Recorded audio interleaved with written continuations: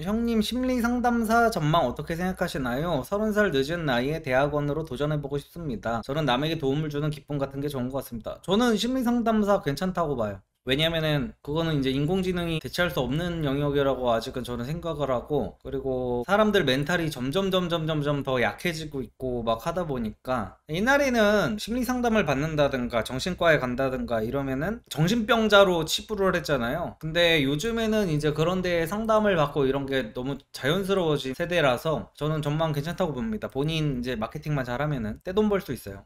근데 정신과 의사한테 밀린다고 하더라고요. 그건 당연하죠. 근데 저는 또 그렇게 생각할 수도 있을 것 같아요. 정신과에 가는 거는 사람의 심리적인 그 부담이 많이 되잖아요. 아, 내가 정신병까지 걸린 건가라는 느낌이 있는데 심리 상담은 뭔가 그냥 조금 힘들어서 가는 느낌이어가지고 그 부분을 조금 이렇게 세일즈 포인트로 정해가지고 조금 정신과보다 가볍게 진입장벽이 낮은 그런 식으로 positioning을 해가지고 마케팅을 하면은 어, 괜찮을 것 같아요. 심리 상담에서 파생돼 가지고 뭐 연애 상담도 하고 이것저것 다 하면은 돈은 벌기 나름이어 가지고 심리 상담사를 물어봤던 사람입니다. 그런데 대학원은 괜찮은데 나오더라도 심리 상담사의 학사학위가 지방되거나 낮다면 많이 불리할까요? 돈 버는 건 돈 벌기 나름일까요? 공부 성적과 상관없이 저는 정말 이 일이 좋거든요. 하고 싶고 마스터님 지금 유튜브에서 저를 포함, 저를 포함해가지고 심리 상담이라든지 고민 상담이라든지 뭐 이런 거 얘기해주는 사람 중에 심리학 전공한 사람이 얼마나 될까요?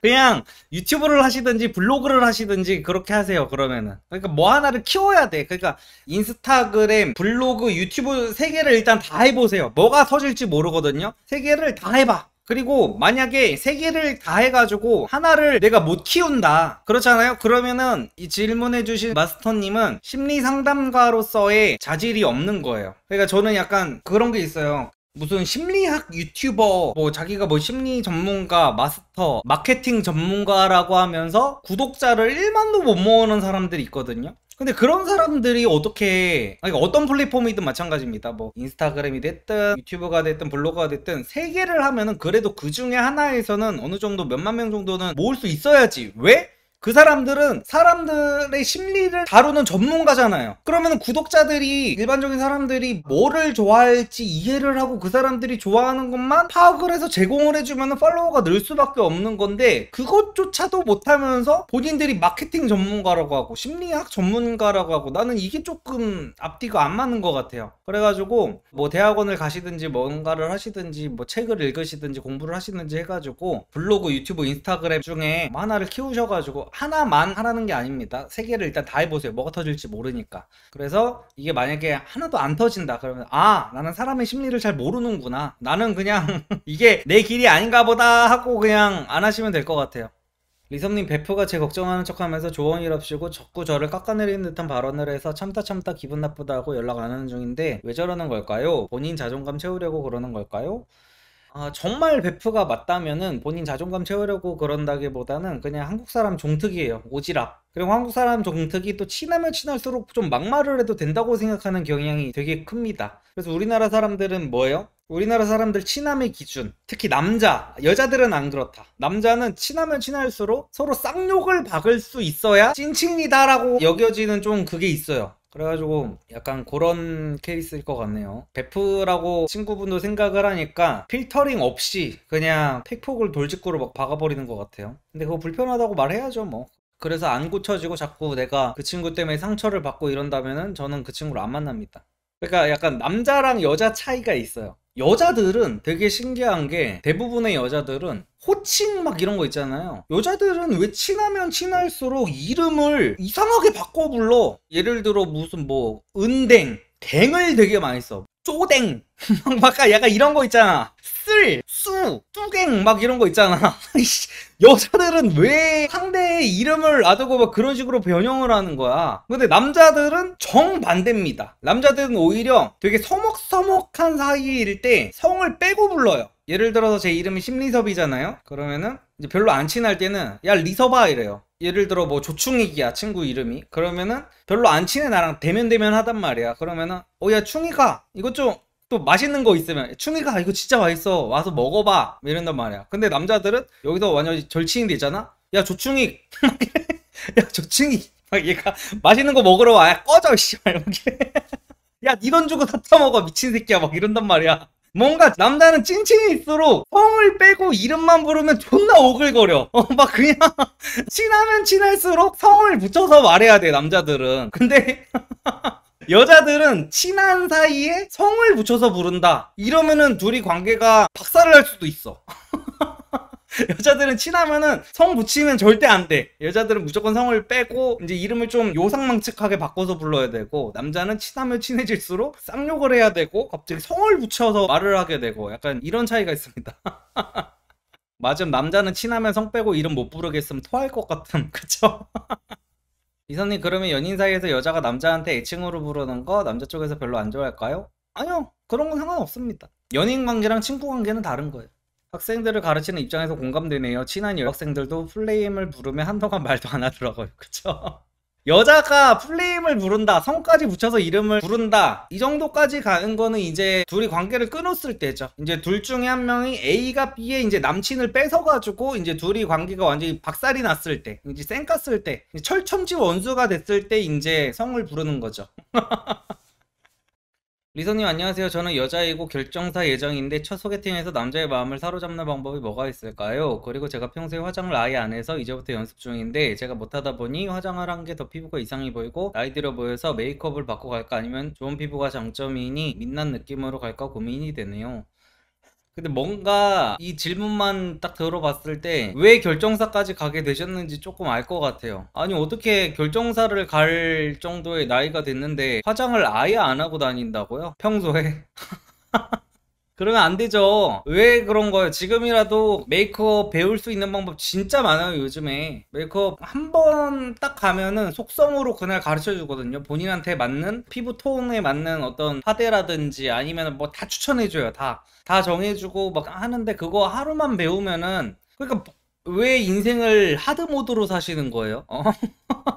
당연히 좋은 피부는 뭐 유지가 됐겠지만 화장을 해가지고. 근데 제가 남자들한테 항상 하는 말이 이거예요. 남들이 다 깔창을 안 깔면은 깔창을 안 깔아도 문제가 안 되겠지만 남들이 다 까는데 나도 깔아야지 그러면은. 남들이 굽 높은 거 신으면 나도 신어야 되고. 다른 여자들이 다 화장을 하는데 왜 본인만 화장을 아예 안 하고 다니는 거예요? 이거는 말이 안 되는 건데. 화장은 무조건 하고 가야 됩니다 리섬님 소개팅 받고 썸 타는 여자가 있습니다. 한 달 정도 만났고 전화도 거의 매일 하고 자주 왔습니다. 손도 잡고 저 좋아한다고 표현했어요. 근데 이 여자가 헤어진 지 3개월이 됐는데 아직 전 애인이 다 정리가 안 된 것 같기도 하고 본인이 외로워서 만나는 것 같기도 해서 저랑 연애를 시작해야 할지 잘 모르겠대요. 고민이 많아서 본인이 엄청 괴로워해요.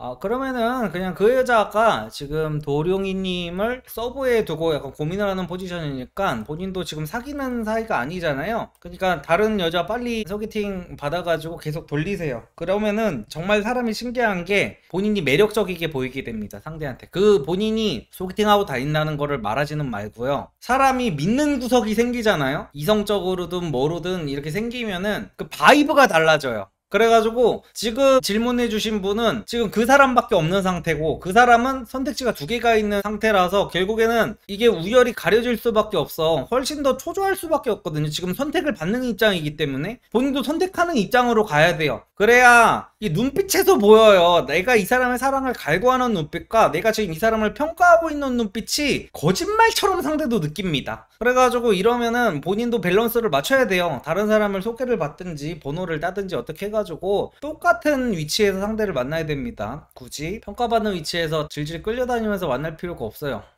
아, 리섭님 연애 강의 본 지 한 달 안 돼서 4살 연하 솔탈했습니다. 감사합니다. 아이고, 제가 더 감사합니다. 리섭님 번따가 제일 내 스타일 여자 만나기가 제일 쉽나요? 당연하죠. 내가 직접 보고 특히 요즘같이 어플 고정이 심한 시대에 직접 내 눈으로 판단하고 번호를 물어보는 게 가장 가능성이 높죠. 리섭님 노력해도 안 되는 여자는 빠르게 버리고 다른 여자 찾고 여러 여자와 썸 타는 게 좋다고 하셨는데 제 친구가 그러다가 뒤에서 여미새라고 욕먹더라고요. 이건 남자가 문제인 건가요? 여자가 문제인 건가요? 아, 저는 저런 거를 싫어해요. 그러니까 여미새도 두 가지 종류가 있어요. 그냥 여자를 잘 만나고 다니는 남자를 보고 무조건 여미새라고 하는 부류들이 있고, 그냥 뭐 친구고 뭐고 다 제끼고 그냥 여자만 항상 밝히는 애들이 있고, 뭐 남들과의 관계를 파탄내가면서까지 여자에 미쳐있는 애들이 있어요. 저는 걔네들은 좋게 보지는 않지만, 항상 말씀드리는 게 모든 남자는 다 여자에 미쳐있어요. 그리고 20대 때는 여자 만나려고 노력 엄청 많이 하고, 최대한 많이 만날 수 있는 기회를 저는 늘려야 된다고 생각하는 주인데, 예를 들어서 남자가 마음에 드는 여자 가 있어가지고 번호를 따는 것 같다가 누군가가 여미새래. 나는 오히려 여미새라고 부르는 그 사람을 별로 좋게 안 봐요.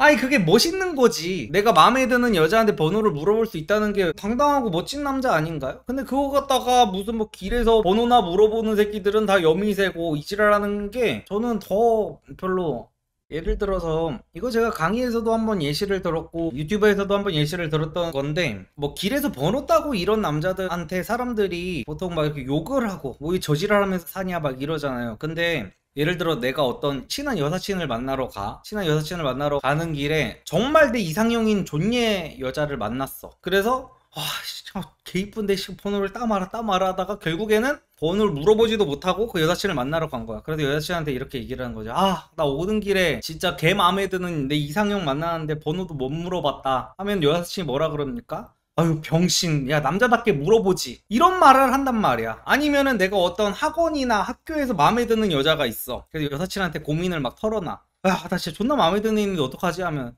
야 남자답게 한번 물어봐봐. 라고 한단 말이야. 여자가 내 정말 친구라고 생각하는 남사친한테 이렇게 말한다고. 야 남자답게 물어봐. 그게 뭐예요?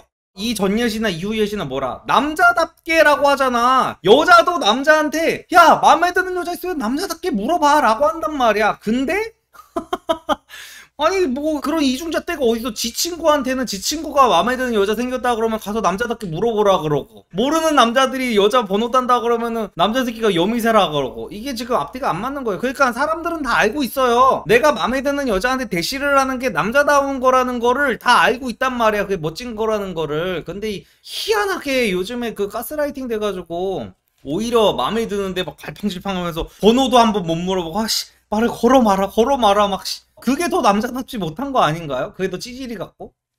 리섬님 연애 강의 보고 바로 여자친구가 생겼습니다. 정말 좋아하고 있고 오래 가고 싶은데 연애 강의를 보고 바로 연애에 성공해버려서 제 스스로 여자를 만나 사귀는데 성공하는 연습이 충분히 되지 않았다고 생각됩니다. 아직 미필이기도 하고 아직 만날 여자는 많을 텐데 아직 체화가 되지 않은 것 같아서 헤어지고 다시 연습을 해야 할까요?